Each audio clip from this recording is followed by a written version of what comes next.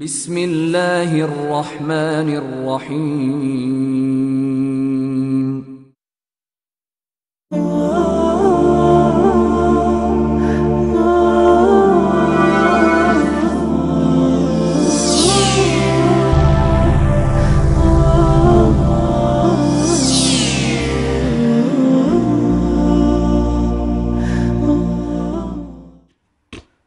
আসসালামু আলাইকুম রহমতুল্লাহি ওবরকাত আলহামদুলিল্লাহ রবিল আলমিন ওসলাত ওসালাম আলা সজিদুল মুরসালিন ওয়ালা আলিহি ও আসহাবিহি ওবারক ওসাল্লিম সুবহানাকলা ইলমালানা ইল্লামা আল্লামতানা ইন্নাকান্তাল আলিমুল হাকিম সম্মানিত ইকরা বাংলার দর্শক শ্রোতা ইসলামিক কিউএনএ উইথ ইকরা প্রোগ্রামে আপনাদেরকে আন্তরিক মোবারকবাদ।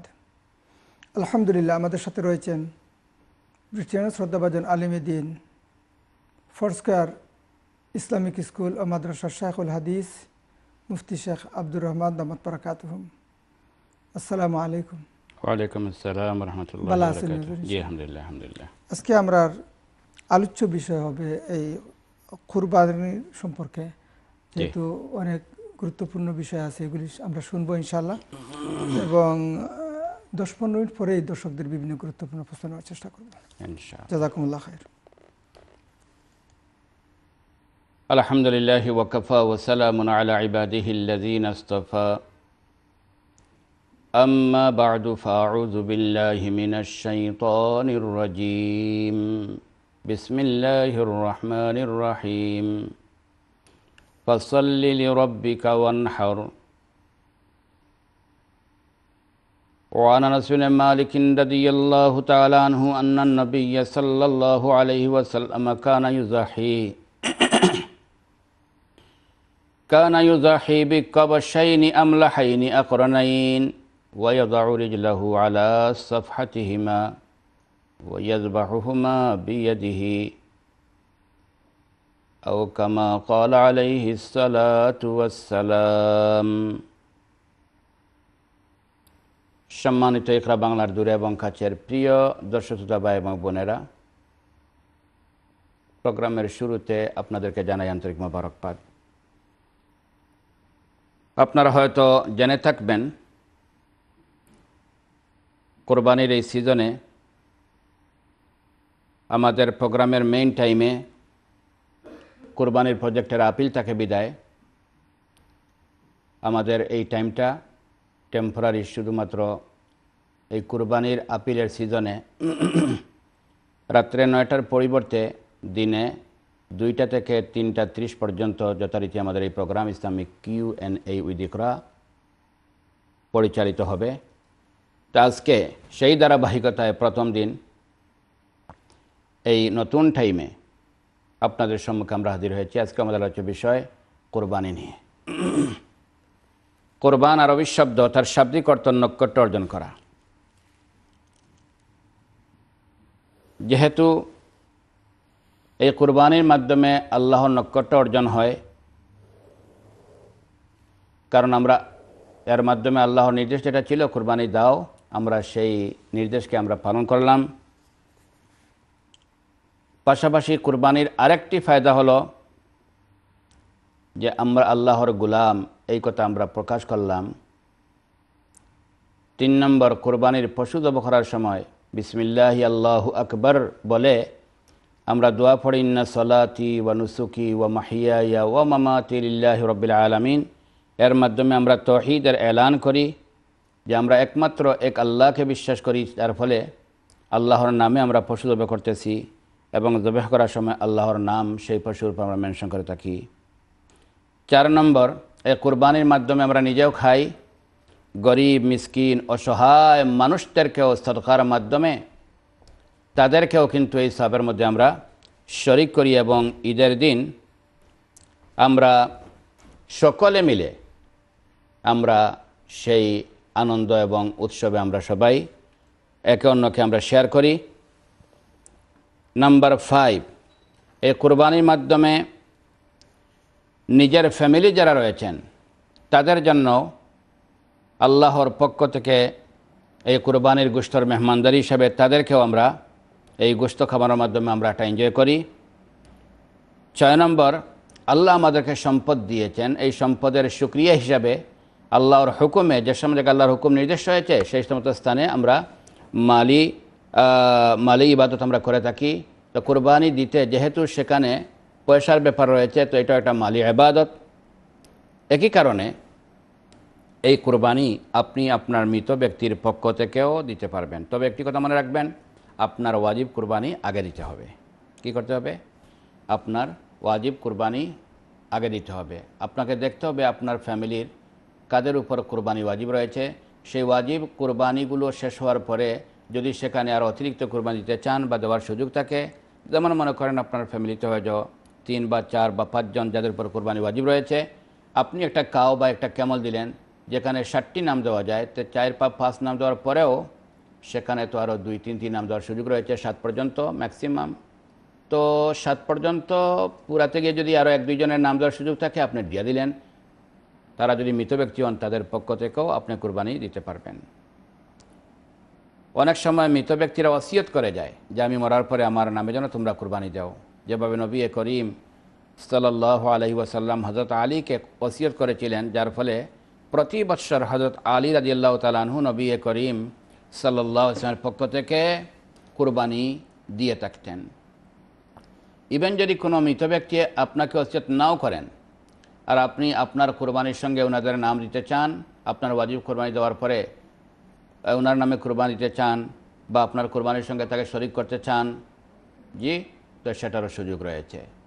ইভেন যদি নবী করিম সাল্লাহ ইসলামের পক্ষ থেকেও কোরবানি কেহ দেয়, আল্লাহর নবীর পক্ষ থেকে ইসা আলাই জন্য সেটাও নির্ভরজি গোলামা একরামের মতে জায়দ আছে প্রমাণ করল যে আল্লাহর নবীর সাথে আপনার দৃঢ় সম্পর্ক এবং মহাব্বত রয়েছে।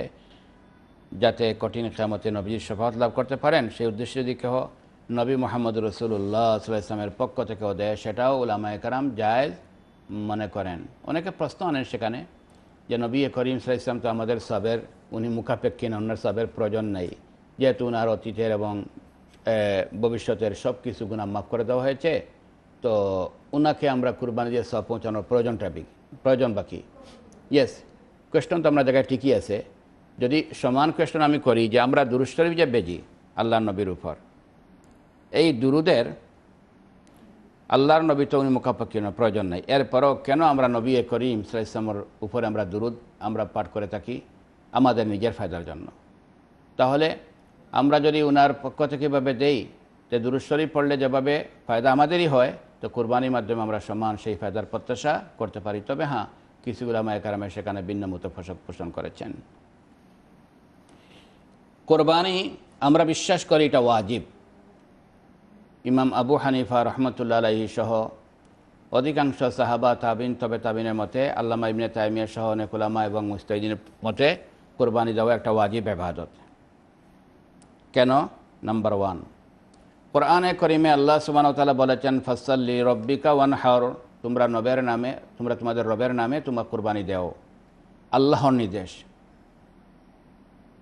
একটা রুল আছে যে আল্লাহ সুবান তালা অথবা নবী করিম সাল্লাহ ইসলাম কোনো কাজের আদেশ দিলে এটা কিন্তু আমাদের জন্য ওয়াজিব হয়ে যায়। তো সেই হিসাবে কুরবানি ওয়াজিব হওয়ারই কথা। দুই নম্বর, নবী করিম সাল্লাহ ইসলাম মক- মদিনায় থাকা অবস্থায় দশ বৎসরের এক বৎসর আল্লাহ নবী কোরবানি বাদ দেন নাই। আকামা রসুল্লাহ সাল্লাম বিল মদিনাতি আশা সিনিন ইউদাহি। প্রতি বৎসর কোরবানি দিয়েছেন, রেগুলার করেছেন। এই কোরবানির আবাদতটি মদিনায় অবস্থানকালীন সময়ে প্রতি বৎসর, অর্থাৎ দশটি বৎসরের প্রতি বৎসরে নবী করিম সাল্লাহ আলি সাল্লাম কোরবানি দিয়েছেন। ইভেন বিদায় হজে নবী করিম সাল্লাহ আলি সাল্লাম টোটাল একশোটি উট কোরবানি দিয়েছেন। তন্মধ্য থেকে সিক্সটি থ্রি, তেষট্টি নিজের হাতে জব করেছেন আর বাকিগুলো হজরতে আলী রাজিয়াল্লাহ তালাহুর মাধ্যমে জব করাইছিলেন। তিন নম্বর। একটি হাদিস ইবনে মাজা সহ বিভিন্ন হাদিস কিতাবে এসেছে, হাদিসটি বিশুদ্ধ। নবী করিম সালাম বলেছেন মানকা লাহু সাআতুন আন ইউজাহি ইয়াকরাবান্না মুসাল্লানা। নবীজি বলেন, যে বা যাদের পুরুষ হন, মহিলা হন, এক ফ্যামিলির হন বা ভিন্ন ফ্যামিলির হন, যাদের সামর্থ্য রয়েছে সামর্থ্যবান প্রত্যেক ব্যক্তির জন্য কোরবানি দেওয়া ওয়াজিব। যদি সেই ওয়াজিব কাজটি না করেন, তাহলে তারা যেন আমার ঈদের ঈদগাহের কাছে যেন না আসেন। এখানে মেন হাদিসের এবারটি এইভাবে যাদের সামর্থ্য রয়েছে তারা কোরবানি না দিলে তারা যেন ঈদগাহর দ্বারের কাছে যেন না আসে। এই কথা শক্ত আল্লাহর নবীজির এই বাণী যে ঈদ, ঈদগাহের দ্বারে কাছে যেন তারা না আসে এই কথা কি ইঙ্গিত করে? যে কুরবানি দেওয়াটা কি? ওয়াজিব এবাদত যদি ওয়াজিব না হতো, তাহলে এটা বাদ দেওয়ার কারণে এত কঠোর বাণী আল্লাহ নবী উচ্চারণ করতেন না। তিন। চার নম্বর। নবী করিম সাল্লাহ সাল্লাম জনৈক সাহাবি ঈদের দিন নমাজের আগে কুরবানি দিয়ে ফেলেছিলেন। রসুল্লাহ সাল্লাম ওনাকে বলেছেন, তোমার যে কোরবানি তুমি নমাজের নমাজ, ঈদের নামাজ হওয়ার আগে জবে করে ফেলেছ এটা সাধারণ কাবার গোষ্ঠ হতে পারে, কোরবানি হবে না। এজন্য তুমি আরেকটি কোরবানি তুমি দিতে হবে।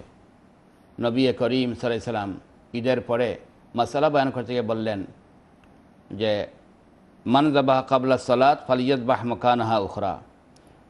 যারা নমাজের আগে জবে করে ফেলবে, তাদের এটা হবে না।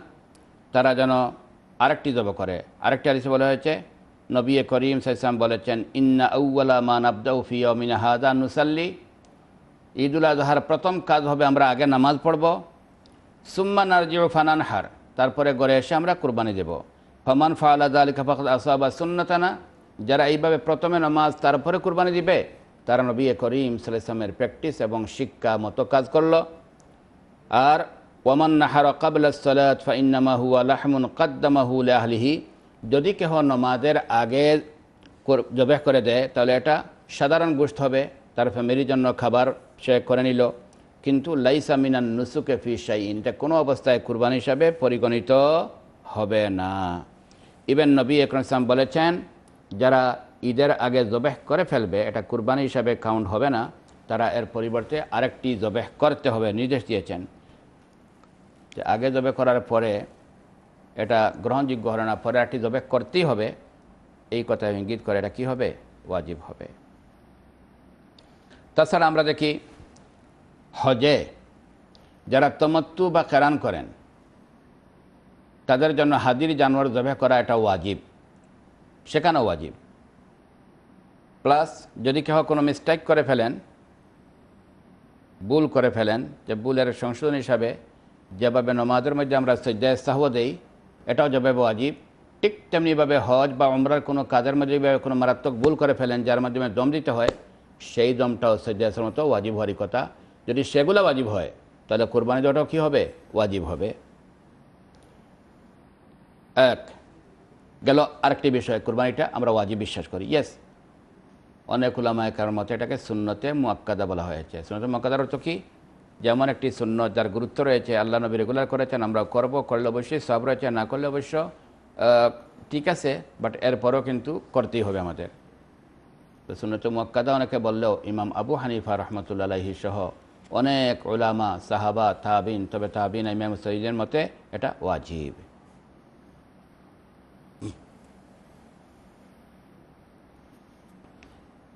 এখানে কয়েকটি বিষয় উত্তম হবে আপনার প্রথম দিন জবাহ করতে পারলে, ঈদের দিন। কারণ হাদিসে এসেছে, নবী করিম সাম আন নবী ইসলাম কান ইজাহি বে কবসাইনি আমলহাইনি আকরনাইনি, এটা করেছেন, ঈদের দিনই করেছেন। যদি কেহ না পারেন, তাহলে ঈদের পরের দিন না পারলে এর পরের দিন। অর্থাৎ ঈদের দিন সহ আরও নেক্সট দুই দিন পর্যন্ত দবে করা যায়, কিন্তু আগে দবে করার কোনো সুযোগ নাই। এই দেশে আমরা যারা আছি, আমরাও যেন কোরবানি যেন দেই। আপনার কোরবানি যদি প্রথম দিন আপনার দ্বিতীয় সমস্যা হয়, আপনি দ্বিতীয় দিতে পারবেন, না পারলে তৃতীয় দিন আপনি দিতে পারবেন। ইবেন ইমাম শাহিসার মতে চতুর্থ নম্বর দিনও দেওয়া যায় বলে ওনার মত রয়েছে। আরেকটি বিষয় হলো, আপনি কোরবানি যে দেশে দেবেন, ওই দেশের নমাজের সঙ্গে হিসাব করেই কোরবানি সেখানে দিতে হবে। মনে করেন আপনার কোরবানি বাংলাদেশে দেওয়া হচ্ছে আপনি তো হয়তো ঈদ একদিন আগেই কানে করে ফেলবেন, তাই না? তো আপনার প্রশ্ন হলো যে আপনার কোরবানি কি আপনার এই দেশের ঈদ করার পরেই বাংলাদেশে জবে করে ফেলবেন? না বাংলাদেশে ঈদের নামাজ হওয়ার পরে জবে করতে হবে? জি, তো আনসার হলো এটাই, যে জায়গায় কোরবানি দেওয়া হচ্ছে সেই জায়গার হিসাব অনুযায়ী আপনি যদিও এখানে নামাজ আগে ফেলে ফেলেছেন, আপনার কোরবানি বাংলাদেশের কমপক্ষে প্রথম ঈদের জামাত হওয়ার পরে আপনার কোরবানিকে জবে করতে হবে। এবং বাংলাদেশের ঈদের দিন থেকে শুরু করে পরেরা দুই দিন পর্যন্ত আপনার কোরবানি দেওয়া যায়। আপনারা হয়তো জেনে থাকবেন, আল খয়ের তাই করে থাকে। বিভিন্ন ক্যাম্প থেকে লাইভ দেখানোর জন্য প্রথম দিন, কোনো কোনো জায়গায় দ্বিতীয় দিন, কোনো জায়গায় তৃতীয় দিন পর্যন্ত কোরবানি দিয়ে লাইভ আপনাদেরকে এগুলো দেখানোর চেষ্টা করা হয়। তো এটা জায়জ রয়েছে।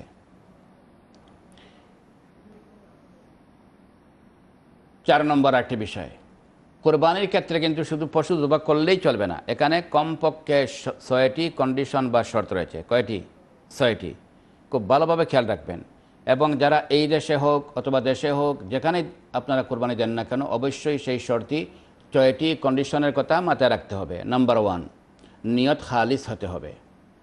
যে এই পশুটা দবে করতেছেন একমাত্র আল্লাহকে রাজিয়ার খুশি করার জন্য। ইভেন গুস্ত খাওয়া বা যদি কুরবানি না দেয় তাই লোকে কী বলবে? হয়তো শরম হবে, লজ্জা হবে। বা হয়তো পার্শ্ববর্তী করে তারা কুরবানি দিয়েছে, আমরা না দিলে কীরকম লাগতেছে, বাচ্চারা কি বলবে? এই সমস্ত নিয়তের জন্য আমরা কোরবানি না কোরবানি দেবো একমাত্র আল্লাহকে রাজিয়ার খুশি করার জন্য। কেন? আল্লাহ সুবানাউ তাআলা কোরআনে আমাদেরকে শিক্ষা দিয়েছেন। ইব্রাহিম ইসলামের সেই বাণী ইব্রাহিম আল ইসলাম বলেছিলেন, ইন্না সালাতি ওয়া নুসুকি ওয়া মাহিয়ায়া ওয়া মামাতি লিল্লাহি রব্বিল আলামিন। নামাজ যেভাবে আমরা একমাত্র আল্লাহর জন্য পড়ি, কোরবানিও একমাত্র আল্লাহর জন্য। আমাদের জীবন, মরণ, সেগুলোও কিন্তু একমাত্র আল্লাহর জন্য। এজন্য নিয়ত খালিজ করতে হবে। আপনারা জানেন, কোরবানির ইতিহাস সৃষ্টি করেছিলেন নতুন একটা অধ্যায় এবং নতুন একটি ইতিহাস সৃষ্টি করেছিলেন যিনি, তিনি হলেন হজরতে ইব্রাহিম আলহি সালাতাম আমাদের নবী তাই বলেছেন। যখন প্রশ্ন করা হয়েছে, কেন কোরবানি দেব? উনি বললেন, সুন্নাতু আবিকুম ইব্রাহিম। তোমাদের আদি পিতা হজরত ইব্রাহিম আলাইহি সালাতাম খলিলুল্লাহ, তিনি নতুন অধ্যায়, নতুন হিস্ট্রি সৃষ্টি করেছিলেন। এজন্য আমরা সেই ধারাবাহিকতা আমরা কোরবানি দিয়ে থাকি। আমরা জানি ওনার হিস্ট্রি এবং ওনার ইতিহাস যেটি, যে উনি ওনার ছেলেকে কোরবানি যাওয়ার জন্য উনি রেডি ছিলেন। নিয়োগ ছিল জবেক করবেন, ছেলেও রেডি আমি জবে হয়ে যাব। সব কিছু রেডি ফালাম্মা আসলামা ওয়াত্তাল্লাহুল জাবিন।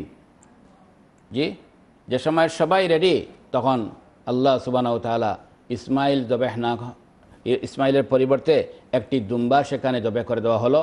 আর আল্লাহ বললেন, ওয়া কাদালিকা নুনজি কাদালিকা নাজিল মুহসিনিন। এইভাবে কেয়ামত পর্যন্ত আমি, যারা নিয়ত খালিজ করে রেডি হবে, তাদের কোরবানিকে আমি কবুল করে কেয়ামত পর্যন্ত এইভাবে বদলা দিতেই থাকব। এখানে, ইব্রাহিম ইসলাম তো কোরবানি করেন নাই রেডি ছিলেন শুধু। এই নিয়ত হওয়ার কারণে আল্লাহ বলেছেন, কাদ সদ্দাক তার রুইয়া আপনি আপনার স্বপ্নকে বাস্তবায়ন করে ফেলেছেন। তাহলে মেন জিনিস হলো আমাদের নিয়ত খালিস হতে হবে। নবী করিম সালাম বলেছেন, ফতিবু বিহা নফসা অতএব তোমরা খুশি মনে নিয়ত খালিস করে তোমরা অবশ্যই যেন কোরবানি দাও। কারণ এই কোরবানিটা আল্লাহর নিয়ত দেখে। আল্লাহর কাছে কোরবানি গুস্ত পৌঁছে না, রক্ত পৌঁছে না। লাইয়ানা আল্লাহ লুহুমুহা ওয়ালা দিমা উহা ওয়ালা কিয়ানা লুহুত্তাকওয়া মিনকুম। এই কোরবানির পশুর গুস্ত রক্ত, কোনো কিছু আল্লাহর কাছে পৌঁছে না, আল্লাহ চান না, আল্লাহ চান আমাদের অন্তরের তাকোয়া আমরা আল্লাহর বয় নিয়ে যে কোরবানি দিয়ে থাকি, এটাই আল্লাহ দেখতে চান। আর কোরবানি দেওয়া এটা একটি সিম্বল, এমন একটি আমল যার ডাইরেক্ট সম্পর্ক আল্লাহর সাথে। এটাকে শিয়ারুল্লাহ, যার প্লুরাল এবং বহুবচন শাহরুল্লাহ বলা হয়। আর আল্লাহ বলেছেন ওমাই আজিম শাহির আল্লাহি ফাইন্নাহা মিন তাকওয়াল কুলুব যারা এই সমস্ত শিয়ারুল্লাহকে আল্লাহর সাথে সম্পর্কিত সিম্বলকে যারা অন্তর দিয়ে শ্রদ্ধার সঙ্গে দেখে সম্মান দেখায়, এটাই প্রমাণ করে তাদের অন্তরে রয়েছে আল্লাহর তাকওয়া এবং আল্লাহর ভয়। এজন্য আল্লাহর ভয় নিয়ে খালিস নিয়তে আমরা কোরবানি করব। প্রথম কন্ডিশন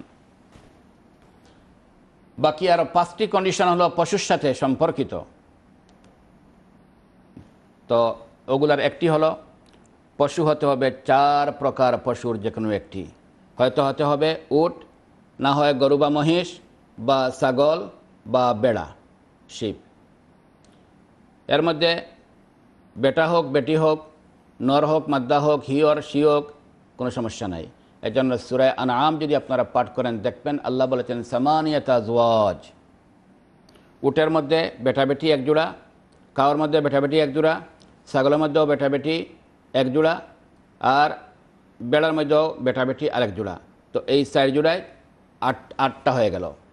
এই এই আট, চার প্রকার পশুর জেন্ডার হিসাবে ডাবল হিসাবে এই আট পেয়ারের মধ্যে থেকে কোনো একটি দিয়েই কোরবানি দিতে হবে। আমরা জানি হরিণের গোস্ত খাওয়া যায়। এক্সপেন্সিভও বটে। গুড়ার গোস্ত খাওয়া যায় রয়েছে। সেগুলা খাওয়া যায় হলে সেগুলো দিয়ে কোরবানি দিলে কোরবানি হবে না। যে জঙ্গলি গাদা খাওয়া যাইতেছে, কোরবানি দিলে কিন্তু কোরবানি হবে না। হাঁস মুরগ আমরা খাই, কোরবানি দেওয়া যাবে? না, হবে না। তো নির্দিষ্ট পশু হতে হবে। ওই চার প্রকার পশুর মধ্যে থেকে কোনো একটি পশু হতে হবে। দুই তিন নম্বর হলো, এই পশুগুলার বয়স, নির্দিষ্ট বয়স হতে হবে কমপক্ষে উটের ক্ষেত্রে পাঁচ বৎসর, গরুর ক্ষেত্রে কমপক্ষে দুই বৎসর, ছাগলের ক্ষেত্রে এবং বেড়ার ক্ষেত্রে কমপক্ষে এক এক বৎসর। আর যদি দুম্বা যেটা, ওই বেড়ার ইয়ে যেটা, বেটা যেটা, ওইটা যদি ছয় মাসের, দেখতে যদি এক বছরের বড় আর একটি ইয়ের মতো হয়তো ইংলিশের রাম বলে, এই রামটা যদি বড় হয়, তাহলে কিন্তু ছয় মাসের হলেও হয়ে যাবে। তিন। চার নম্বর হলো, এই পশুগুলা জবেহ করতে হবে সঠিক দিনে। হয়তো হতে হবে ঈদের দিন, আর না হয় ঈদের পরের দুই দিনের কোনো একদিন দিনে। অথবা রাত্রের ভিতরে করতে হবে, ঠিক আছে? পাঁচ নম্বর হলো, সঠিক টাইমে হতে হবে। টাইম বলতে, যে অন্তত পক্ষে যে এরিয়ায় কুরবানি দিবেন, ওই এরিয়ায় ঈদের জামাত হয়ে গেছে প্রথমটি। আপনি হয়তো পরেই পড়বেন, কিন্তু একটি জামাত হয়ে গেছে প্রথম জামাত, ফার্স্ট জামাত হওয়ার পরে আপনার পশুকে জবেহ করতে হবে আগে জবে করলে কিন্তু এটা কুরবানি হিসাবে পরিগণিত হবে না। কয়টি হলো? পাঁচ। নিয়ত খালিজ করতে হবে, নির্দিষ্ট পশু হতে হবে, তার নির্দিষ্ট বয়স হতে হবে, নির্দিষ্ট দিনে জবে করতে হবে, নির্দিষ্ট টাইমে জবে করতে হবে। পাঁচ, ছয় নম্বর লগে ফাইনাল যেটি, সেটি হলো এই পশুগুলাও নিখুঁত হতে হবে, তার মধ্যে কোনো খুঁত থাকতে পারবে না। খুঁত বলতে অনেক ডিটেলস রয়েছে।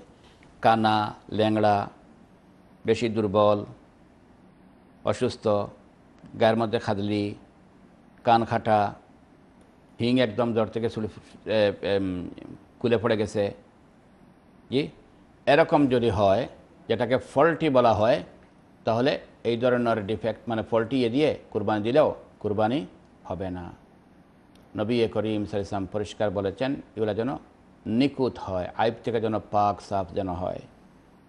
এই ছয়টি শর্তকে সামনে রেখেই কুরবানি দিলে তখন কুরবানি ওয়াজিব হবে। এবং এই ছয়টি- শর্ত, শুধু কুরবানির ক্ষেত্রেই নয়, ইভেন আপনারা যে আকিকা দেন, সমান এইগুলা আকিকার ক্ষেত্রেও প্রযোজ্য। এবং ছাগল বা বেড়া দিয়ে দিলে এক নাম দেওয়া যায়, এক, একজনের পক্ষ থেকে হয় গরু এবং উট সাতজনের পক্ষ থেকে হয়, মুসলিম সহাদিসে রয়েছে। সমান আকির ক্ষেত্রেও তাই। আপনি হজে গেলে সেখানে যদি দমে শুকুর, যে জবাহ যেটা করা হয়, হজের সঙ্গে উমরা করার সুযোগের কারণে উমরা করলে তেরান হিসাবে অথবা তমত্ব হিসাবে তাদেরকে কুরবানি দেওয়াটা ওয়াজিব হয়। একটা পশু জবাহ করা যেটাকে দমে শুকুর বলা হয়, সেটাও কিন্তু সমান একই রুল সেখানেও অ্যাপ্লাই হবে। হজে কোনো মিস্টেক করলে দম দিতে হলেও ওই চার প্রকার পশুর মধ্যে থেকে কোনো একটি পশুর একটি অংশ দম দেওয়ার জবে করার নামই হলো দম বা আপনার পেনাল্টির একটা সংশোধনী বা সৈদায় সর মতো এটা ওই বুলকে সংশোধন করে ফেলে। এটা মাথায় রাখবেন কিন্তু। হ্যাঁ হাদির জানোয়ারের ক্ষেত্রে সেটা হলো নির্দিষ্ট ওই হরমের ভিতরে দবে করতে হয়। কুরবানি আপনি আপনি যেখানে আছেন সেখানে দবে করেন, অথবা পৃথিবীর কোথাও যদি আপনার পকেটে দবে করা হয়, কুরবানি হয়ে যাবে কিন্তু। সমান আকিকাও।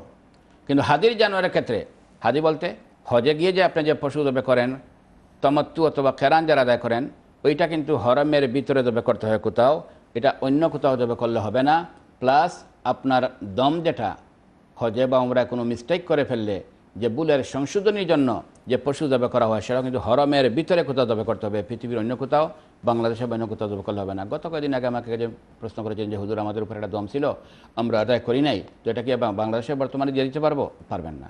আপনি আবারও না দিতে পার, না দিয়ে থাকলে ডিউ থাকলে ওই হরমের ভিতরেই কোথাও আপনাকে জবাহ করাতে হবে। প্লাস ওইটার পয়সা দিলেও হবে না। আপনি ওইটা জবাহ করাইতেই হবে। জি? এই হলো কোরবানির কতিপয় মশলা এই বছর, এই দেশে আপনারা যারা কোরবানি দিবেন, আমি মনে করি যে সব আপনারা কোরবানির অর্ডার নিতেছেন। আমি অনেক জায়গায় শপে দেখেছি, আপনারা লাগিয়ে রাখছেন কোরবানি, আপনারা অর্ডার নেন। আপনাদের জন্য ওয়াজিব হবে আপনার জন্য কোরবানি, এই মশাইগুলো জানেন। এবং যারা কোরবানি দেব, আমাদের জন্য জরুরি হবে আমরা যেন তাদেরকে এই মশলাগুলো যেন ওয়াকিফ করি, নতুবা আমাদের কোরবানি কোরবানি হবে না সাধারণ গুষ্ট হতে পারে। আল্লাহ আমাদের সকলকে তফিক দান করুন। আমিন। জাদাকুমুল্লাহ হাসান জাদা জাজাকুমুল্লাহ খায়ের সম্মানিত ইকরামাল দর্শক শ্রোতা, আলহামদুলিল্লাহ অত্যন্ত গুরুত্বপূর্ণ আলোচনা আমরা শুনতেছিলাম যেহেতু ছোট্ট একটি বিরতি যেতে হচ্ছে, বিরতির পর আবারও যখন ফেরত আসব, ইনশাআল্লাহ আপনাদের প্রশ্ন নেওয়ার চেষ্টা করব। আশা করি দর্শক শ্রোতা আমাদের সঙ্গে থাকবেন, বিরতির পর দেখা হবে। আসসালামু আলাইকুম রহমতুল্লাহি ওবরাকাত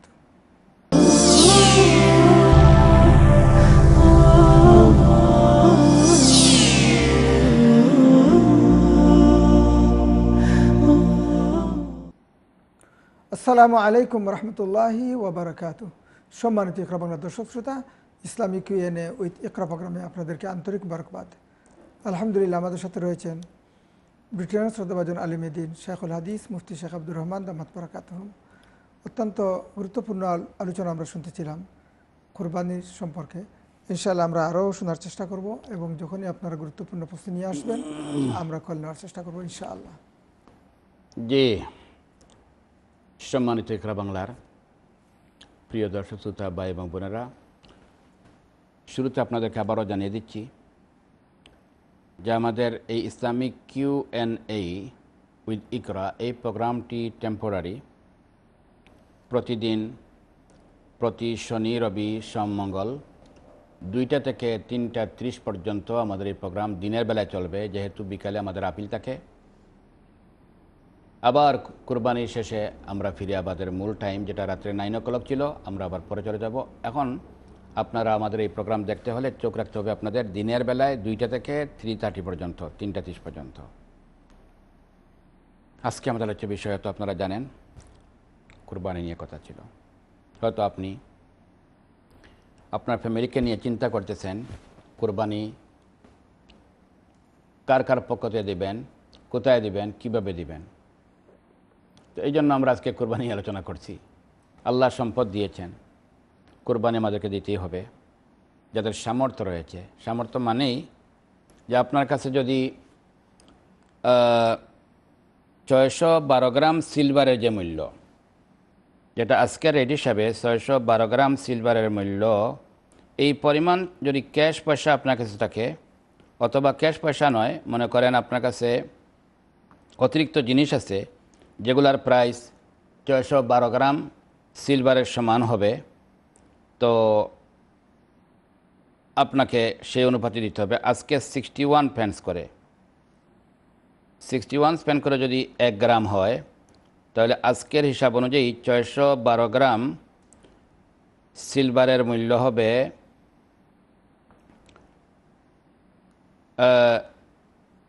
তিনশো তেয়াত্তর পাউন্ড মানে চারশো নয়। তো আপনার কাছে ক্যাশ চারশো পাউন্ড থাকে, তো আপনাকে কোরবানি দিতে হবে। আপনি যে জায়গায় পারেন, যত সস্তায় পারেন সমস্যা নাই বাট আপনাকে কোরবানিতে আপনার উপর নির্ভরজীবী আমাকে মতে ওয়াজিব হয়ে যাবে। যদি ক্যাশ পয়সা থাকে, বা সোনা থাকে যার প্রাইস এই পরিমাণ হবে, বা সোনা, রুফা, ক্যাশ পয়সা মিলিয়েও যদি কারও এই পরিমাণ অ্যামাউন্ট হয়ে যায়, পাশাপাশি আপনার ব্যবসা থাকলেও সেই ব্যবসায়ী যে সমস্ত আপনার দোকানের সম্পদ রয়েছে, ওগুলার মূল্য যদি মাত্র তিনশো তেয়াত্তর পাউন্ড অর্থাৎ চারশো পাউন্ডের কাছাকাছি হয়ে যায়, আপনাকেও কোরবানি দিতে হবে। ইভেন আপনার ব্যবহারী জিনিসের অতিরিক্ত যেগুলো রয়েছে আনএসেন্সিয়াল যে সমস্ত সামান আপনার ঘরে রয়েছে, ব্যবহারী হলেও, আমি আবার বললাম ব্যবহারী জরুরি সামানের অতিরিক্ত যেগুলো রয়েছে, যেমন কাপড় তিন সেটের অতিরিক্ত যেগুলা, সেগুলারও দাম ধরে। জুতা কিন্তু মূলত প্রয়োজন এক জোড়া, আপনার হয়তো আছে অনেক বেশি, চার, পাঁচ, ছয়, কারও ত্রিশ, তেত্রিশ জোড়া পর্যন্ত থাকে। হ্যাঁ। তো আপনার এক জোড়া ছাড়া বাকি যেগুলো আছে সেগুলোর দাম ধরে। ঠিক তেমনিভাবে আপনি যে সময় ব্যবহার করতেছেন নন এসেন্সিয়াল এরকম নয় যে আপনার সার্ভাইভ করতে হলে জীবনযাপনের উপর একদম ডিপেন্ডেন্ট এরকম এগুলো ছাড়াও আপনি চলতে পারতেন বা অতীতে লোক চল, চলেছে।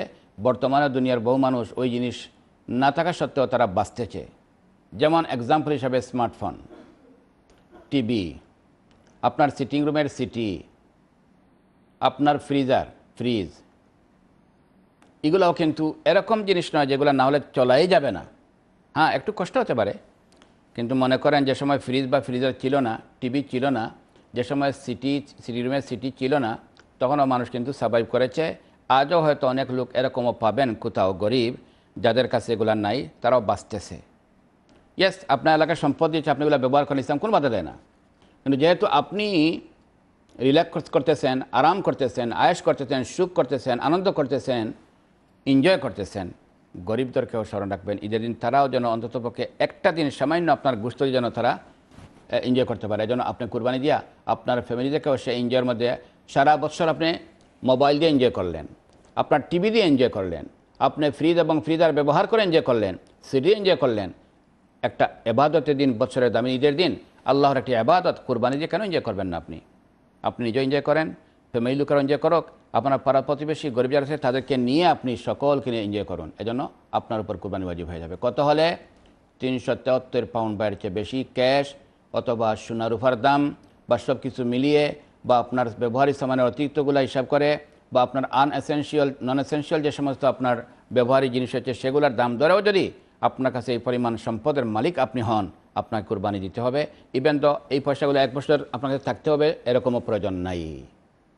হ্যাঁ এই হিসাব অনুযায়ী আপনাকে কুরবানি দিতে হয় ফিতরাও দিতে হয়। এবার আসুন যদি তাই হয়ে থাকে তাহলে আপনি চিন্তা করেন আপনার উপর কোরবানি বাজিব কেন বাজিব না, আপনি নিজে বিচার করুন। আমি তো মনে করি লন্ডনে আমরা যারা বসবাস করতেছি আমরা বয়স্ক যারাই আছি অ্যাডাল্ট মনে হয় নাইনটি ফাইভ পার্সেন্ট বরং এর চেয়েও বেশি হবে যাদের উপর কুরবানি ওয়াজিব। ফিতা দেওয়া ওয়াজিব হয়ে যায়। আর আপনি বছরে একবারই দিবেন। আর এত সব রয়েছে এটার মধ্যে। জি? আল্লাহ আপনার সম্পদ দিয়েছেন এই সম্পদের নিয়ে আপনি একটু এনজয় করবেন। হ্যাঁ আল্লাহ এটা চান। মানে কোরবানি যে বাড়িতে হয় একটা আনন্দ। থাকে আমরা ছোটবেলা দেখতাম যখন কোন এক বাড়িতে কোরবানি হইতো সুবাহান আল্লাহ আশেপাশে গরিব লোকেরা আসে জমাইতো। বীর জমাইত।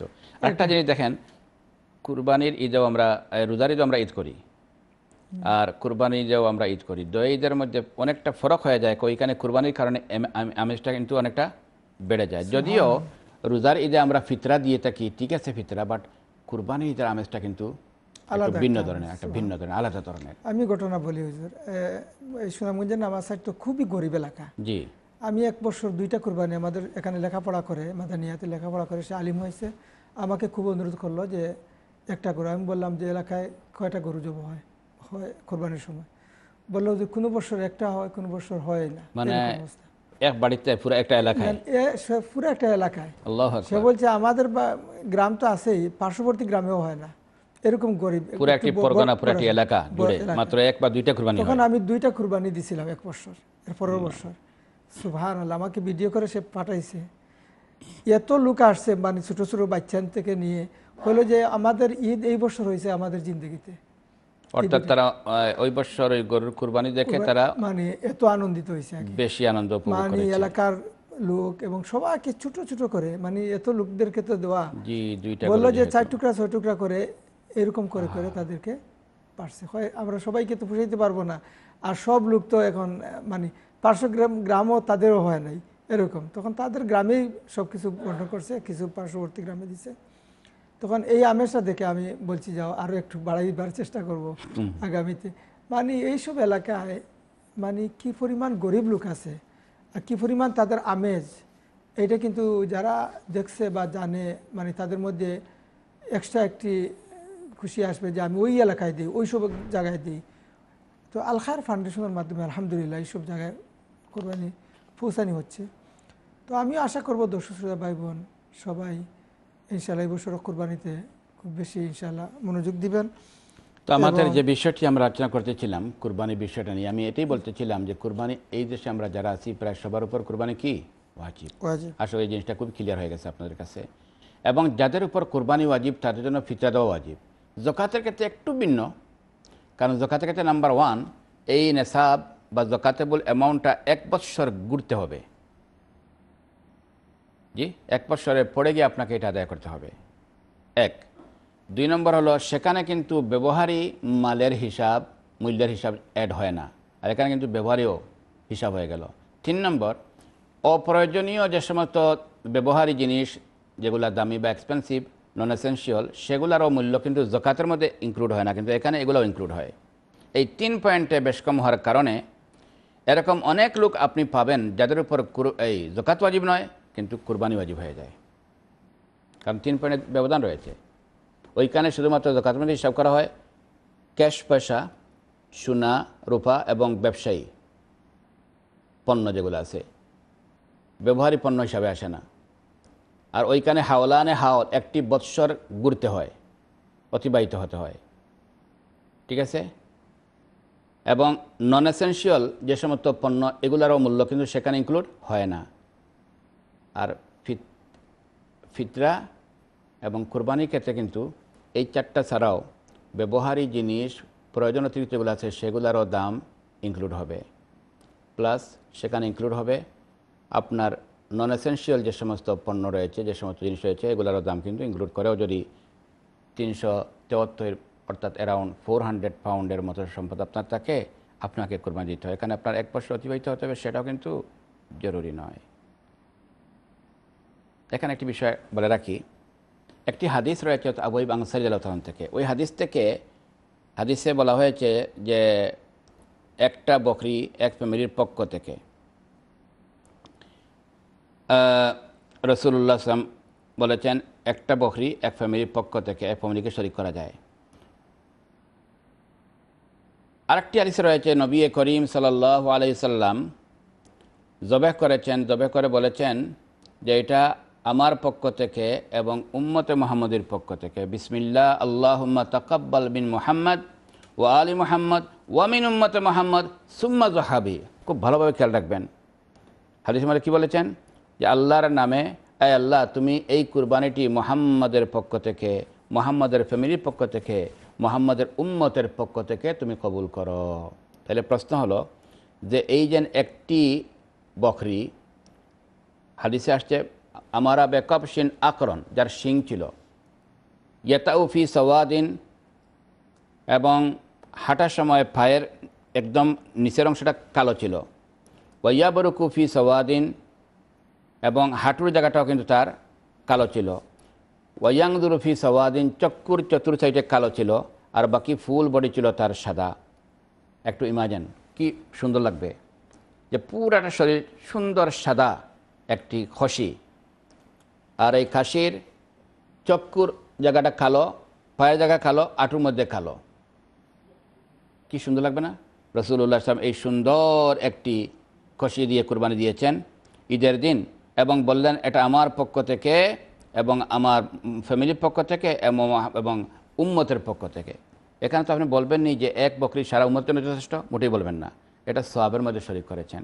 যে বারে কাদিসে বলা হয়েছে, নবীজি বলেছেন, ফ্যামিলির পক্ষ থেকে একটি একটি শিব যথেষ্ট, এটা মানে সবের ক্ষেত্রে বা গুস্তের ক্ষেত্রে যথেষ্ট। কুরবানি কিন্তু প্রত্যেকের যাদের উপর ওয়াজিব, হয়তো উট বা কা- ক্যামেলের মধ্যে সাত ভাগের এক ভাগ, আর ছাগল বা শিব দিলে একজনের পক্ষতে একটাই, এখানে দুইজন শরিক করা যায় না। জাজাকুমুল্লাহ। জাজাকুমুল্লাহ খায়ের, আমরা দেখি প্রশ্ন কে নিয়ে আসছেন। হ্যালো, কলার সালাম আলাইকুম।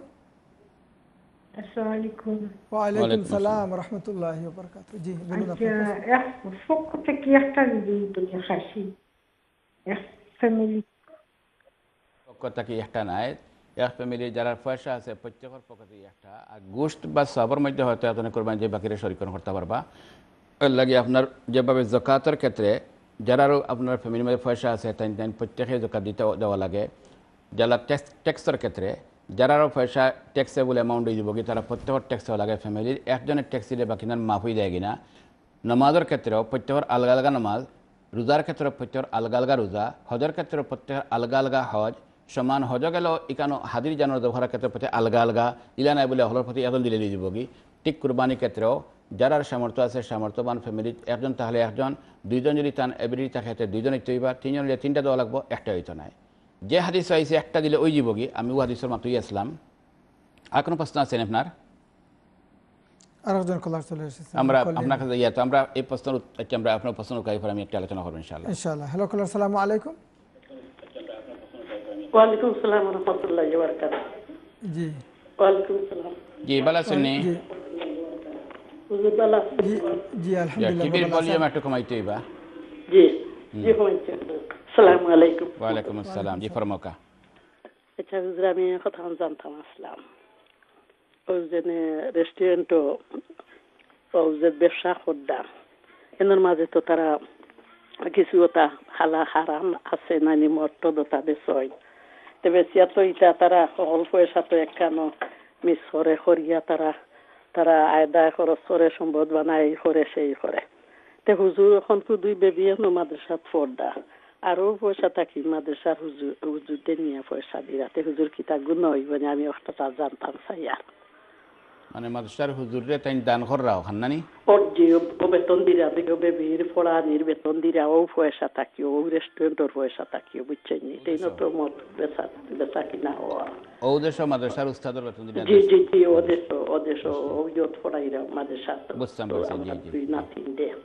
তেনিয়া ওর তাকি পয়সা দিরা তে আমি এখন তা জানতাম ইয়ার ওর তাকি পয়সা দিরা পয়সা গুলো এটা আর গুণ হইব নি না ঠিক আছে এখন তা যেন নামাজানোর মাঝে কইসই করে গরু খরচা পাতি আন্দা হুজুর নামাজ আলাম পড়দাম তিলাত করদাম খাইরাম এখন না পারিয়া হুজুর থেকে গেছি অনেকটা তো আর দামান কুটুম সকল দে আর কোনো মতে আর শাসন কর সতর্ক করা যান না বড় আপনারা দোয়া করেন যেন বেসাইয়া আমরা লাগে আল্লাহ হালাল পথে চালাইতে আবার চাই করে ওকে হুজুর সালামু আলাইকুম রহমতুল্লাহ বালা থাকো আমরা দোয়া করি আর আর আমি ফোন দেখা করে এখন তা যায় ইনশাআল্লাহ। আমরা সালিম ইনশাআল্লাহ আমরা প্রথমে আপনার প্রশ্নের উত্তর দেব তারপরে আগের সিস্টার যেটি প্রশ্ন শুরু করেছিলেন ওনার কথা শেষ করতে পারেন নাই বাট আমিও হয়তো আনসার শুরু করেছিলাম। আমার আশা ছিল যেহেতু উনি লাইনে থাকবেন যদি এরপরেও আমি ওনার আলোচনা ওনার প্রশ্নের আমি উত্তর একটু পরে দেব।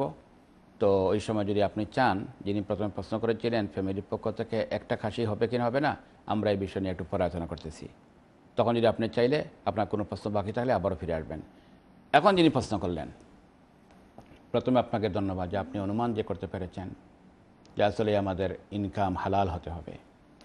হারাম ইনকামের পয়সা বডি বেতে দুখলে জাহান্নামে যাওয়া অনিবার্য। নবী ইসলাম বলেছেন, হারাম সম্পদ দিয়ে গঠিত শরীর এটাকে জাহান্নামের আগুন ছাড়া আর কোনো কিছু পাক করতে পারবে না। এই বডিকে পাক করে জান্নাতে যেতে হলে অবশ্যই জাহান্নামের আগুন টাচ করতেই হবে জাহান্নামে যেতেই হবে। আল্লাহ যেন আমাদের প্রত্যেক হেফাজত করেন নাম্বার ওয়ান এবং হারাম সম্পদ দ্বারা ফ্যামিলিকে পরিচালনা করলে গরম মধ্যে অশান্তি থাকে সন্তানরা অবাধ্য হন মনের শান্তি থাকে না শারীরিক নানাভাবে অসুখ দেখা দেয় অনেক প্রবলেম অশান্তি দেখা দেয়। আল্লাহ আমাদের প্রত্যেকে সেই অনুভূতি এবং সেই এটাকে রিয়েলাইজ করার তফি দান করুন, আমিন।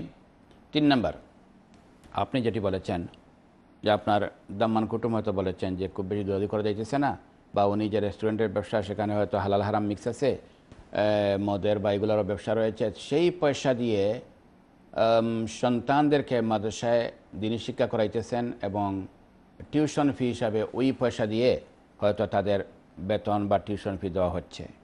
তো তারা কোরআন, হাদিস শিখতেছে আর ওই হারাম বা হালাল মিক্স সম্পদ দিয়ে তাদের টিউশন ফি দেওয়া হচ্ছে, এটা কি ঠিক? এই প্রশ্ন শুধুমাত্র টিউশন ফির ক্ষেত্রেই নয়, যেভাবে টিউশন ফিটাও আমি আমার হালাল ইনকাম থেকে দেব, ঠিক তেমনিভাবে গড়ের যেগুলো আমরা খাইতেছি, এটা তো আরও জরুরি আরও ইম্পর্টেন্ট সেখানেও আমাদের হালাল মানে হালাল সব জায়গায় আমাদের হালাল সম্পদ থাকতে হবে। ইভেন দোয়া কবুল না হওয়ার বড় একটি কারণ হলো হারাম সম্পদ দিয়ে উপার্জিত লেবাস পরিধান করে আমরা দোয়া করি দোয়াটাও কিন্তু কবুল হয় না। দোয়া কবুল না হওয়ার বড় একটি কারণ বাধা এটা। যেহেতু ওনার ইনকামের মধ্যে হালাল হারাম মিক্স রয়েছে, এবং কেন হারাম উপার্জন করলেন এটার জন্য উনি দায়ী থাকবেন। কিন্তু এই মিক্স থাকার কারণে ওই মিক্স সম্পদ দিয়ে দান খরাত করলে যেভাবে যাইছে টিউশন ফি দিলেও সেটা আদায় হয়ে যাবে, সমস্যা নাই। ঠিক আছে? কিন্তু উনার ইনকামের মধ্যে হারাম এবং হালাল মিক্স কেন করলেন? যিনি করতেছেন, উনি এর জন্য দায়ী থাকবেন। জিনিসটা আমি আর একটু ক্লিয়ার করে বলি। যদি হারাম কারও সম্পদ হারাম কতটুকু এটা আলাদা ক্লিয়ার থাকে।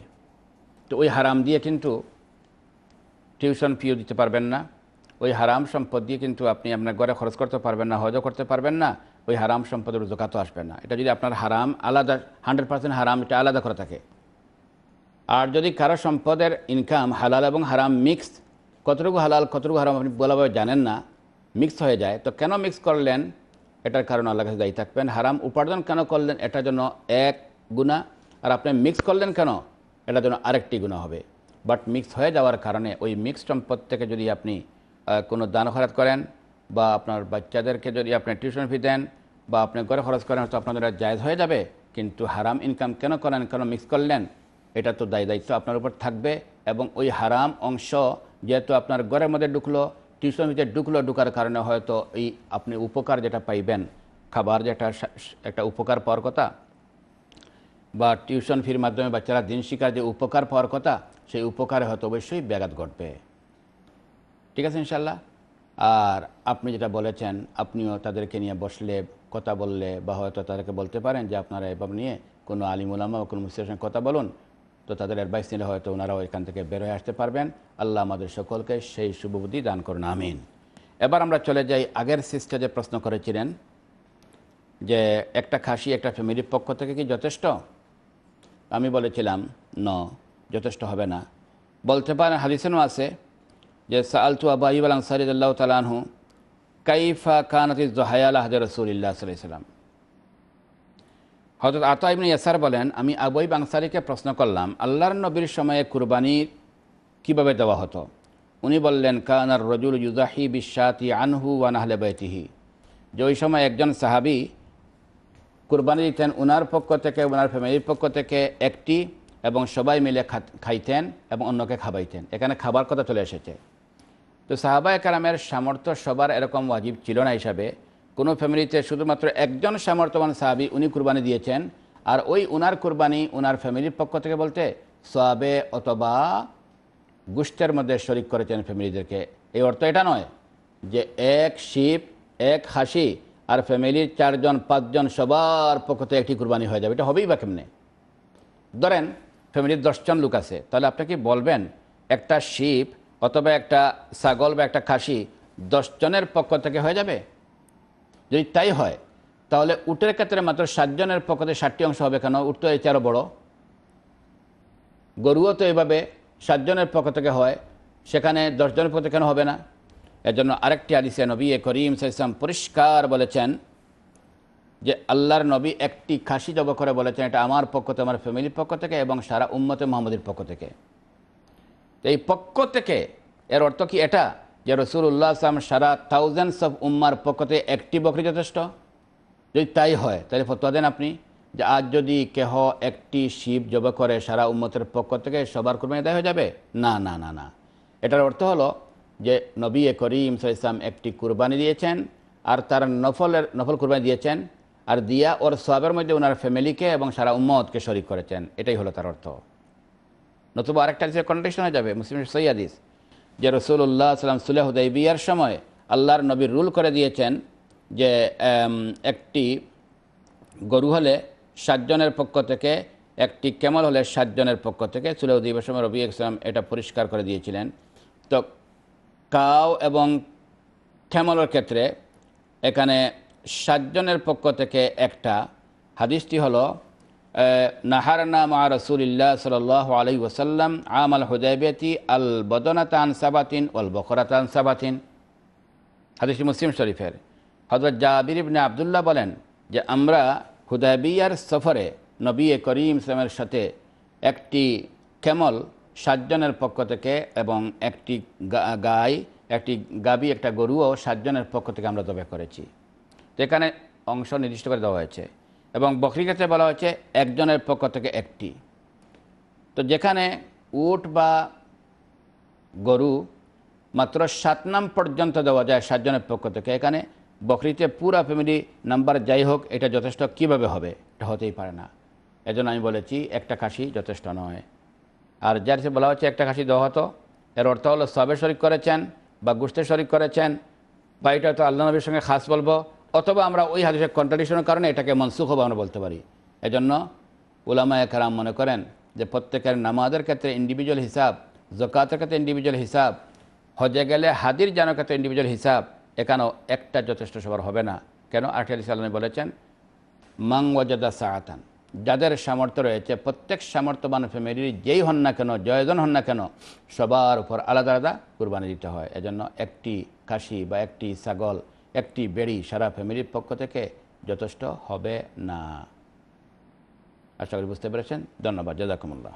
জাজাকুমুল্লাহ খায়ের সম্মানিত ইকরা বাংলা দর্শক, শ্রোতা, আলহামদুলিল্লাহ, অত্যন্ত গুরুত্বপূর্ণ প্রশ্ন এবং আলোচনা শুনতেছিলাম। যেহেতু ছোট্ট একটি বিরতি যেতে হচ্ছে, বিরতির পর আবারও যখন ফেরত আসব ইনশাআল্লাহ, আপনাদের কল নেওয়ার চেষ্টা করব। আশা করি দর্শক, শ্রোতা আমাদের সঙ্গে থাকবেন। বিরতির পর দেখা হবে। আসসালামু আলাইকুম রহমতুল্লাহি ওবরাকাত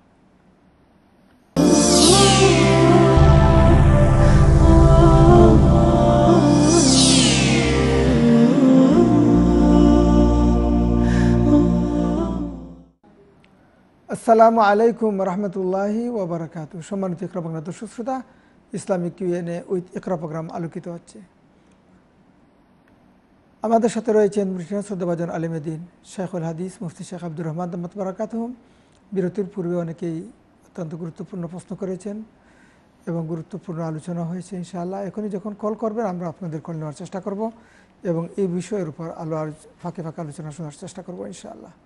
জাজাকুল্লাহ খায়ের জি, আমাদের আজকে বিষয় এটাই ছিল, কুরবানি কাদের উপর ওয়াজিব এবং কুরবানি কেন ওয়াজিব?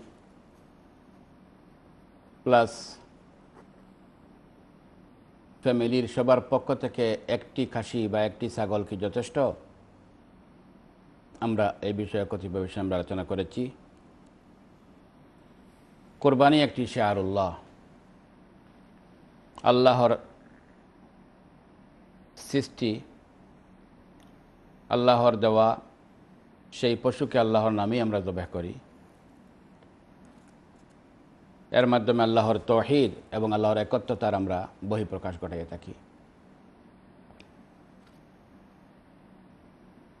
কোরবানির ক্ষেত্রে মোস্তাহাব হলো, সুযোগ থাকলে আপনি তিন ভাগ করে এক ভাগ আপনি নিজে খাবেন এক বাঘ আপনার আত্মীয় স্বজনকে আপনি শরিক করবেন, রান্না করে হোক অথবা গোষ্ঠীই হোক।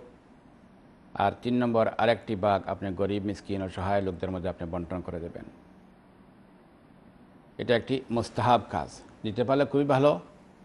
আর যদি আপনার ফ্যামিলিতে লোক সংখ্যা বেশি হয়, আপনি সারাও রেখে আপনি খান, সেটাও জায়দ রয়েছে কিন্তু। কোরবানির পশু যারা জবেহ করবে বা যারা গোস্ত কাটবে, তাদেরকে পরিশ্রমিক হিসাবে কোরবানি গোস্ত দেওয়া যাবে না, কোরবানি গোস্ত বিক্রি করা যায় না। সাতজন শরিক হলে অবশ্যই প্রত্যেকটার অংশ যেন সমানভাবে বন্টন করা হয় কোনো যেন বেশ কম যেন না করা হয় এবং সকলের নেটটাও খালিস হতে হবে। আমরা আরও জানছিলাম, মৃত ব্যক্তির পক্ষ থেকেও যদি কোরবানি করে দিতে চান, দিতে পারবেন। তবে এখানে অনেকেই মিস্টেক করেন। নিজের ওয়াজিব, কুরবানি রেখে কেহ মৃত ব্যক্তির পক্ষ থেকে কুরবানি দিয়ে দেন, এটা যেন না হয়। আগে আমার ওয়াজিব কুরবানি দিতে হবে। ওয়াজিব কাদের উপর? আপনার ফ্যামিলির জীবিত, যাদের সামর্থ্য রয়েছে, যাদের ইনকাম রয়েছে অন্ততপক্ষে, যাদের কাছে সেভিং আছে তিনশো তেহত্তর পাউন্ড বাড়ছে বেশি, অথবা তার কাছে তার ব্যবহারী সামান, অতিরিক্ত সামানের মূল্য তিনশো তেহত্তর পাউন্ডের বেশি হবে। বা আপনার ঘরে প্রয়োজন নয় মানে এমন কিছু সামান যেগুলো ছাড়াও আপনি বাঁচতে পারতেন, যদিও আপনি প্রয়োজন মনে করতেছেন, এই নন এসেন্সিয়াল যে সমস্ত পণ্য রয়েছে সেগুলোর মূল্য ধরেও যদি এই পরিমাণ পয়সার মাল আপনার ঘরে অ্যাভেলেবল থাকে আপনাকে কোরবানি দিতে হবে। ফ্যামিলিতে এইভাবে সামর্থ্যবান যদি বাবা হন উনি বাবার বা- বাবার উপরও কোনো হবে, মা হন, মার উপর পক্ষ দিতে হবে ছেলে যদি কেউ বয়স্ক হয়, তার ওইভাবে সামর্থ্য থাকে বা তার সামানের পয়সা হিসাব করে যদি এই পরিমাণ হয়ে যায়, আর হয়ে যাবেই, তার পক্ষ থেকেও কোরবানি দিতে হবে। তো এক কথায়, স্বামী, স্ত্রী, ছেলে, মেয়ে যারা বয়স্ক রয়েছেন, যাদের মোটামুটি পয়সা আছে বা তার সামান যেগুলো আছে, এগুলো হিসাব করলে এই পরিমাণ সম্পদের সামান তার কাছে আছে অতিরিক্ত। তাদের পক্ষ থেকে কোরবানি দেওয়া ওয়াজিব আপনার নাবালক বাচ্চাদের পক্ষ থেকে কোরবানি দেওয়া কিন্তু ওয়াজিব নয়। মৃত ব্যক্তিদের পক্ষ থেকে কোরবানি দেওয়া ওয়াজিব নয়। তারা যদি ওসিয়ত করে যান, অথবা যদি আপনি তাদের পক্ষ থেকে দিতে চান নফল হিসাবে, তাহলে আপনি তাদের পক্ষ থেকে দিতে পারেন, কোনো সমস্যা নাই ইনশাআল্লাহ। তারা অবশ্যই সব পাবে। কারণ কোরবানি কিন্তু এক ধরনের মালি, মাল খরচ করা, এটা সরকার মতো। আপনি কোরবানি দিলেন মানে সমপরিমাণ পয়সা যেমন তার পক্ষ থেকে সদকা করলেন। এখানে একটি বিষয়ে বলে রাখা ভালো।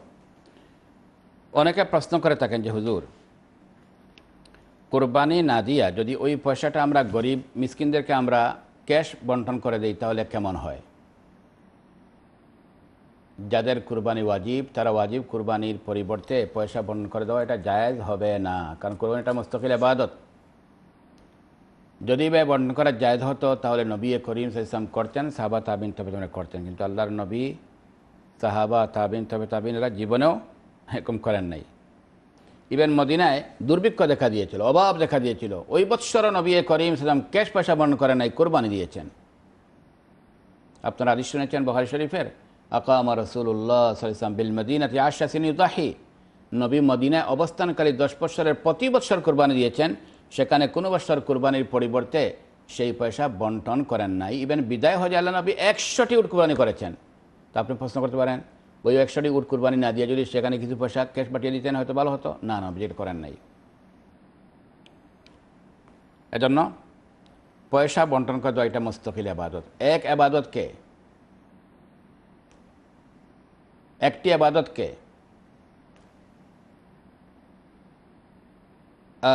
মিনিমাইজ করে। একটি আবাদতকে ডিস্ট্রয় করে। আরেকটি আবাদত করার সুযোগ নাই।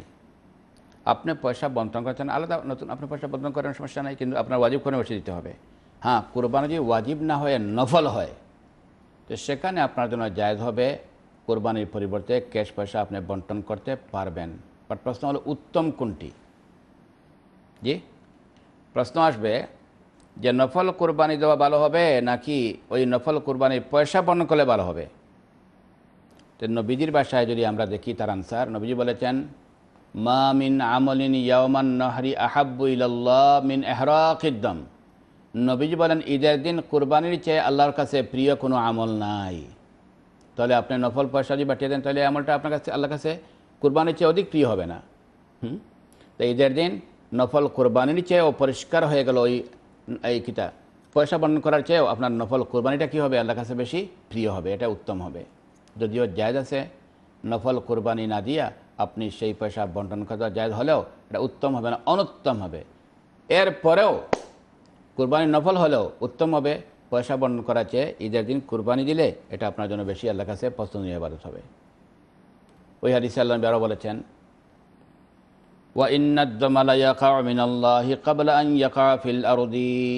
একটা কুরবানির পশুর রক্ত জমিনে গিরার আগে আগে আল্লাহ কাছে এটা কবুল হয়ে যায়। ওয়া لياتي يوم القيامة بقرونها وأشعارها আদলাফিহা কঠিন কেমতে এই পশুর সব কিছু নিয়ে তার শিং, তার গায়ের লুমা এবং তার পায়ের নখ সব কিছু নিয়ে হাজির হবে।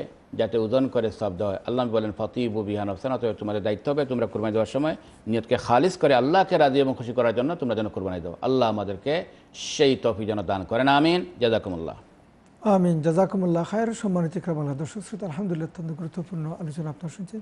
যেহেতু প্রচুর কলার লাইনে চলে এসেছেন আমরা দেখি এই মুহূর্তে আমাদের সাথে প্রশ্নকে নিয়ে আসছেন। হ্যালো কলার সালাম আলাইকুম। ওয়ালাইকুম সালাম। ভালো আছেন জি আলহামদুলিল্লাহ আপনি ভালো আছেন?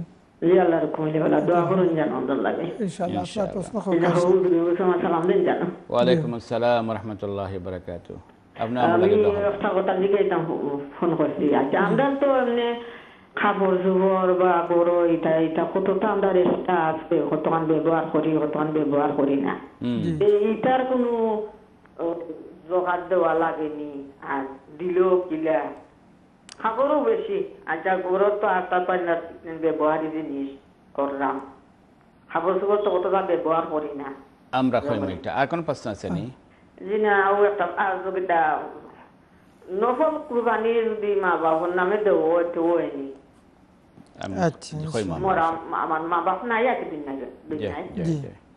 তো হয়নি হয় আমরা আনসার দেবো ইনশাআল্লাহ আচ্ছা সালাম আলাইকুম ওয়ালাইকুম সালাম রহমতুল্লাহ আপনার প্রথম প্রশ্ন হলো, ঘরের মধ্যে কত অতিরিক্ত কাপড় আছে? সারা বৎসর হয়তো আপনি একদিন পরেন না। আসলে সত্যি, এভাবে আপনার নয়, সবার ঘরে এভাবে আছে। তো এই অতিরিক্ত ব্যবহারিক কাপড় যেগুলো আছে, আপনি হয়তো সারা বছর ব্যবহার করেন না, ঘরের মধ্যে রাখা আছে। এগুলো জকাতের মধ্যে বেশি হিসাব আসে না, এগুলো জকাত আসে না। কিন্তু এই অতিরিক্ত কাপড় আপনি এইভাবে রাখছেন হিসাবে তার মূল্য দরে যদি জকাত পরিমাণ পয়সা হয় নেশা পরিমাণ পয়সা হয়ে যায়, যেমন মাত্র তিন চারশো পাউন্ডের, এই মনে করেন চারশো পাউন্ডের বা চেয়ে বেশি যদি এইভাবে সামান রাখা থাকে অতিরিক্ত, তাহলে আপনি প্রতি বছর আপনার উপর কোরবানি ওয়াজিব থাকবে, আপনার উপর ফিতরা দেওয়া ওয়াজিব থাকবে। আপনি ফিতরাও দিতে হবে, কোরবানি দিতে হবে। আর ওই ব্যবহারী মাল গড়ে অতিরিক্ত থাকলেও এটা জকাতের মধ্যে হিসাবে আসে না, আর এটার জকাত দিতে হয় না।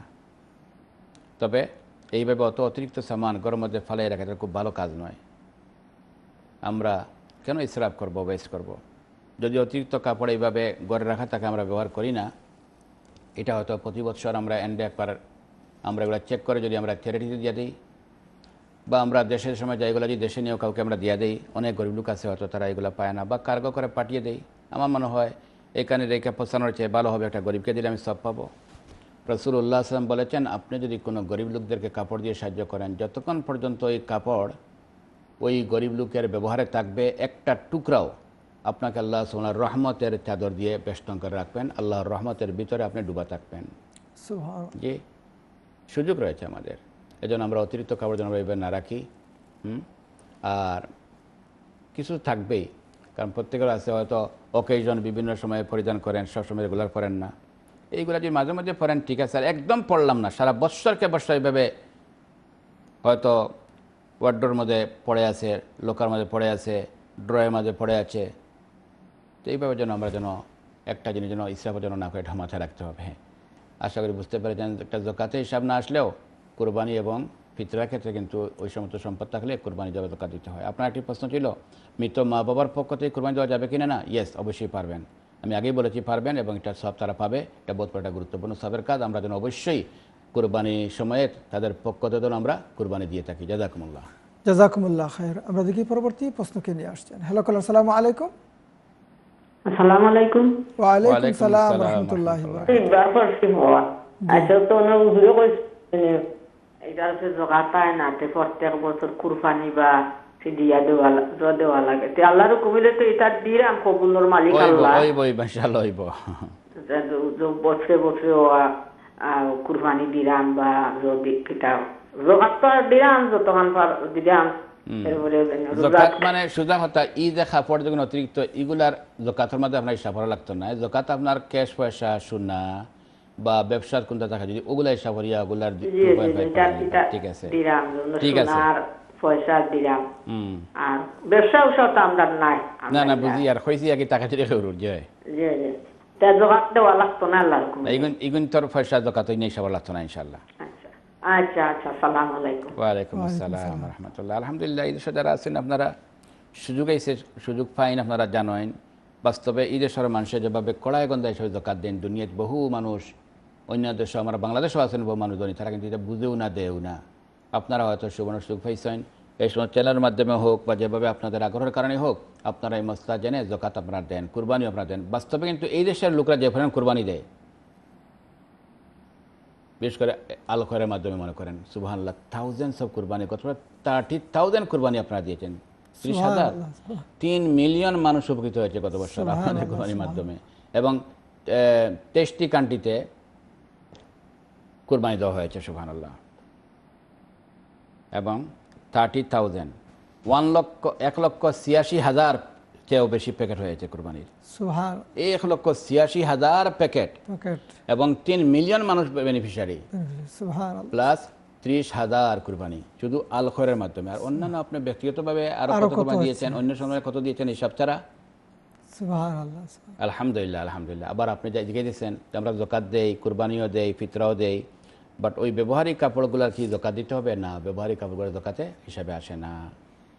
জকাতের মধ্যে হিসাবে আসে ক্যাশ পয়সা সোনা রুফা আর যাদের ব্যবসা রয়েছে ব্যবসার ওই যেগুলো রয়েছে ওগুলো আয়। জাদা খামুল্লাহ হাসান জাদা জাজাকুমুল্লাহ খায়ের আমরা দেখি পরবর্তী প্রশ্নকে নিয়ে আসছেন। হ্যালো কলার সালাম আলাইকুম। আসসালামু আলাইকুম। ওয়ালাইকুম সালাম রহমতুল্লাহি ওবরাকাত আহ, যে আমি একটা ছিল যে জাকাতর বিষয় আর কি জাকাতর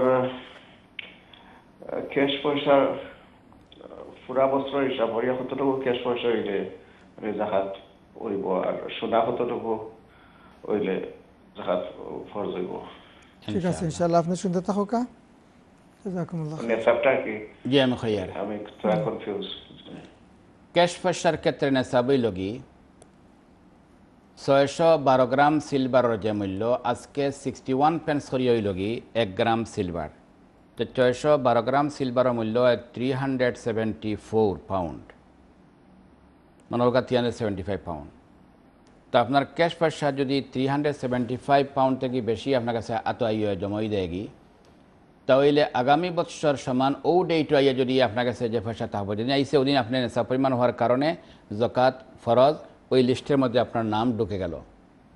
আগামী বৎসর এক বৎসর পরে যদি আপনার কাছে ওই সমান পরিমাণ পয়সা ব্যয়ের চেয়ে বেশি থাকে নেশা পরিমাণের চেয়ে, তাহলে ওই আগামী বৎসর ওই দিনে যে পয়সা আপনার কাছে থাকবে, ওই পরিমাণ হোক বা বেশি হোক, তার টু পয়েন্ট ফাইভ পার্সেন্ট দিবেন। ধরেন আপনার কাছে আগামী বছর সমান রেটে চারশো পাউন্ড হয়েছে, তো আপনার তো নেশাব হয়ে পুরো আছে, তো আপনি প্রত্যেক এক, একশো পাউন্ডে আড়াই পাউন্ড দিবেন। তো চার দুগুণা আট নয়, দশ পাউন্ড আপনার দোকান আসবে, চারশো পাউন্ডের মধ্যে। একদম সামান্য। এই হলো ক্যাশ পয়সা। গোল্ডের ক্ষেত্রে হলো একটি আলাদা নেশাব, সেটি হলো সাতাশি গ্রাম। সাতাশি গ্রাম বা সাড়ে সাত তুলা যদি আপনার শোনা হয়, তাহলে আপনার নেশা পুরো হয়ে গেল। আপনি দিবেন কীভাবে দোকাত ওইটা মার্কেটে সেকেন্ড হিসাবে বিক্রি করতে যে মূল্য আসবে, ওই মূল্য টু পয়েন্ট ফাইভ পার্সেন্ট দিয়ে দিলে চলবে। ক্যাশ পয়সা, ব্যবসায়ী পণ্য এবং সিলভার, এই তিনটি নেশাব একই ধরনের, অর্থাৎ ছয়শো বারো গ্রাম সিলভার বা সমমূল্যের ক্যাশ পয়সা বা সমমূল্যের যদি আপনার ব্যবসায়ী পণ্য থাকে, আপনার নেশাব পরিমাণ হয়ে গেল, আপনি জকাত দিতে হবে, ওই লিস্টের পর্যায়ে ধনী হিসেবে আপনাকে সুমার করে করা হলো। এক বৎসর পরে, ওই সমান, ওই তারিখে আপনার কাছে সমান সম্পদ বাড়িতে বেশি থাকলে আপনাকে জোকা দিতে হবে। যদি এক বছর পরে ওই তারিখে সমান সম্পদ না এবং কমে গেছে নেশাব থেকে, তাহলে কিন্তু আপনাকে জোকা দিতে হবে না। বৎসরের মধ্যখানে কত আসলো গেল, এটা মেন যে ব্যাপার নয়। ওই ডিউ তারিখ আগামী বছরের দিন হবে, ওই তারিখের হিসাব অনুযায়ী আপনার হাতে যাই থাকুক অথবা ব্যাংকে থাকুক যেখানে থাকুক, ওগুলো হিসাব করে টু পয়েন্ট ফাইভ দিতে হবে। যদি নেশাব পরিমাণ স্টিল থাকে তাহলে। আশা করি বুঝতে পেরেছেন। অশেষ ধন্যবাদ আপনাকে প্রশ্ন করার জন্য। এবং জকাতের ইয়ে হলো ক্যাশ পয়সার সাথে সোনা রুফা এবং ব্যবসায়ী পণ্য এই চারটি জিনিসের সঙ্গে। জি। জাজাকুমুল্লাহ খায়ের আমরা দেখি পরবর্তী প্রশ্নকে নিয়ে আসছেন। হ্যালো কালার সালামু আলাইকুম। আলহামদুলিল্লাহ আছি আপনি কন্ট্রোল রুম থেকে নিতে পারবা অথবা ডোনেশন লাইনে ফোন করিয়া হইলে ইনশাল্লাহ পাইবা। আহ, আপনি কন্ট্রোল রুম থেকে দেওয়া আর আপনি লাইনে থাকুক ইনশাল্লাহ আচ্ছা। আর কোনো প্রশ্ন আপনার জি না আচ্ছা ঠিক আছে জাজাকাল্লাহ। যারাই অনেক সময় আমরা অনেক হরের নাম্বার চাইন মেন জিনিসটা হইল কিতা অপকমার রোল হিসাবে ইলা অনিয়ারও কিন্তু কেউ কারও নাম্বার দেওয়া বা নেওয়া এটা কোনো সময় হয় না হিসাবে আমরা দিতে অক্ষম। আপনারা অনেক আগ্রহের সঙ্গে চান আমরা চাই দিতে কিন্তু যেহেতু দেওয়ার সুযোগ নেই বিদায় আমরা দিতে পারি না এজন্য আমরা দুঃখিত। নম্বর নিতে হলে সুযোগ আছে আপনি হয়তো ডোনেশনে ফোন করে অথবা আমাদের কন্ট্রোল রুমে ফোন করে অন্য কোনো এক সময় নাম্বার নিয়ে নিতে চাইলে আপনাদের কত নাম্বার দেওয়া হবে ইনশাআল্লাহ। ঠিক আছে ইনশাল্লাহ আজকে আমরা আলোচ্য বিষয় ছিল কোরবানি এবং আপনারা প্রশ্ন করার জন্য জাকাত নিয়েও। এবং দুটার সঙ্গে রিলেশন রয়েছে। কারণ কোরবানিও মালের সঙ্গে সম্পর্কিত, আমাদের জকাতটাও কিন্তু মালের সাথে সম্পর্কিত। এবং নেশাব যেটা, কোরবানি, ফিতরা এবং জকাত এই তিনটাও কিন্তু ডিপেন্ড নেশাবের উপর। অর্থাৎ জকাতেবল অ্যামাউন্ট একটি অ্যামাউন্ট যে অ্যামাউন্টটা হলে নেশাব হয়ে গেল, আপনাকে ধনী সুমার করা হলো ওইটা সোনার ক্ষেত্রে নেশাবের হিসাবে এক ধরনের, আর কুরবানি এবং ফিতরার ক্ষেত্রে হিসাবের ধরনটা তোরা ভিন্ন ধরনের। সোনার ক্ষেত্রে আমি বললাম যে চার প্রকার মালে, কোনো এক প্রকার মাল হতে হবে সোনা, অথবা রূপা, অথবা ক্যাশ পয়সা, অথবা ব্যবসায়ী পণ্য, আর এগুলোর উপরে এক বছর যেতে হবে। যদি এগুলার পরিমাণ হয় নেশাব পরিমাণ, তো ক্যাশ পয়সা, রূপা এবং ব্যবসায়ী পণ্যর হিসাব হলো ছয়শো বারো গ্রাম সিলভার বা সম পরিমাণ। মূল্যের ক্যাশ পয়সা থাকে অথবা বেশি বা ব্যবসায়ী পণ্য থাকে তাহলে জকাত ওয়াজিব হয়ে যায়। এক বছর পরে আপনাকে জকাত দিতে হবে আগে নয়। ওই এক বছর পরের ওই সমান ডেটে আপনার যদি সমান নেশা পরিমাণ বা বেশি থাকে তার টু পয়েন্ট ফাইভ পার্সেন্ট দেবেন। আর সোনার নেশা হলো সাতাশি গ্রাম। যদি সাতাশি গ্রাম বাড়িতে বেশি হয় তাহলে আপনাকে সোনার জকাত দিতে হবে।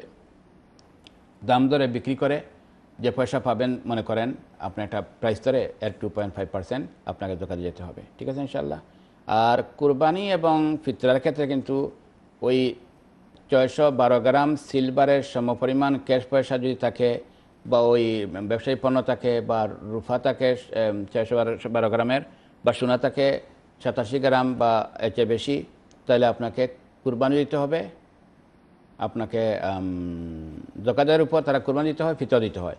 প্লাস, যাদের কাছে ব্যবহারী অতিরিক্ত সামান রয়েছে বা দামি জিনিস রয়েছে নন এসেন্সিয়াল সেগুলোর মূল্য ধরেও যদি ওই আগে যে বললাম, ছয়শো বারো গ্রাম সিলভারের সমপরিমাণ মূল্যর হয়ে যায়, আপনাকেও কুরবানি দিতে হবে। এখানে বৎসরও ঘুরতে হয় না, এক বছর অপেক্ষা করতে হয় না।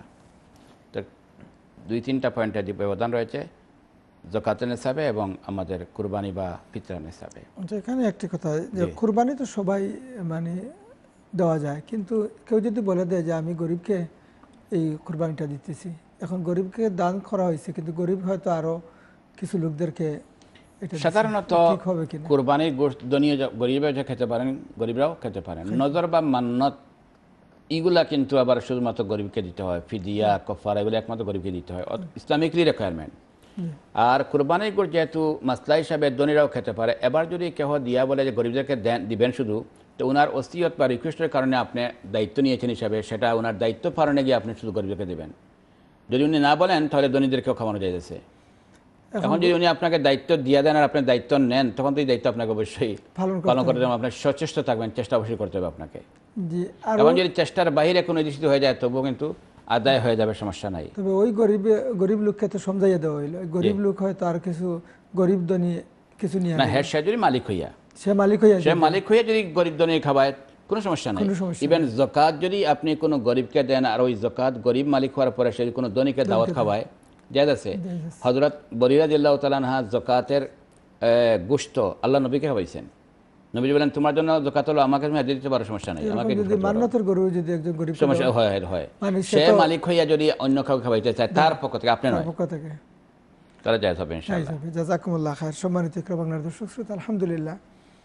অত্যন্ত গুরুত্বপূর্ণ আলোচনা এবং আমরা গুরুত্বপূর্ণ প্রশ্ন আলহামদুলিল্লাহ হুজুরের কাছ থেকে উত্তর শুনেছি। আপনাদের সুন্দর সুন্দর প্রশ্নের মাধ্যমে ইসলামিক ইয়ানে উইথ ইকরা প্রোগ্রাম আলোকিত হচ্ছে। আপনাদের সুন্দর প্রশ্নের উত্তর দেওয়ার জন্য হুজুরকে আমি মুবারকবাদ জানাচ্ছি। আপনার সহ দর্শক ভাই বোন যারা রয়েছেন, সকলকে আমরা ধন্যবাদ জানাই এবং আমাদের এই প্রোগ্রামটি আমি আবারও বলব। নর্মাল রাত্রে নাইন ও ক্লক থেকে থাকতো। এখন কিন্তু আপিলের কারণে, কোরবানির কারণে টেম্পোরারি আমাদের এই প্রোগ্রাম দিনের বেলায় থাকবে দুইটা থেকে তিনটা ত্রিশ পর্যন্ত শনি রবি, সোম মঙ্গল। আমাদের এই Islamic Q and A with Iqra এই প্রোগ্রাম দেখার আমন্ত্রণ জানাইতেছি। আপনারা যে কোনো প্রশ্ন বিষয়ে করবেন, সেই রেডি কোনো প্রশ্ন করার জন্য আপনারা এই টাইমে আমাদের টিভির পর্দায় চোখ রাখবেন, ইনশাআল্লাহ।